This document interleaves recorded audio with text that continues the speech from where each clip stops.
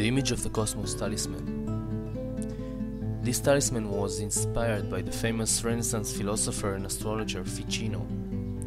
In his revolutionary work, De Vita, the Book of Life, published in 1489, where Ficino synthesizes medicine, astrology, and magic. In the chapters dealing with the subject of magical talismans, he suggests a talisman for the cosmos. In his own words, how to construct a figure of the universe. But why then should we neglect the universal image? An image of the very universe itself. Through it, they seem to hope for benefit from the universe. The adherent of these things, if he can do it, should sculpt an archetypal form of the whole world. If he pleases in bronze, he should imprint this subsequently at the right time in a thin gilded plate of silver. But when exactly should he imprint it?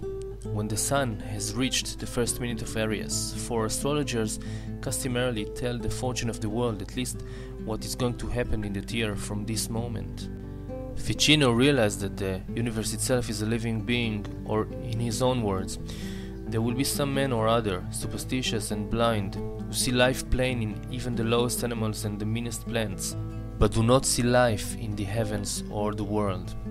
Now, if those little men grant life to the smallest particle of the world, what folly, what envy, neither to know that the whole, in which we live and move and have our being, is itself alive, nor to wish this to be so.